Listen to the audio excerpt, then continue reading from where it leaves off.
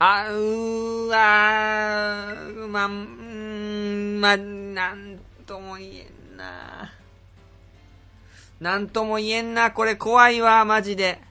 まあ、でも卵だから、あ、いや、モンボ、モンボだから多分大丈夫な気がする。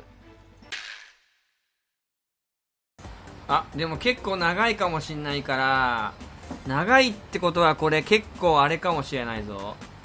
ドラゴン系とかかもしんないね。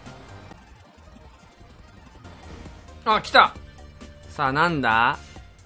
なんだろうな、ジュナイパーとかじゃない本、ジュナイパーってか、木狼とかな気がすんだけど、俺、この時期だったら。なんか木狼だろ、絶対これ。俺、木狼にかけます。にゃお破壊、なんとも言えねえ。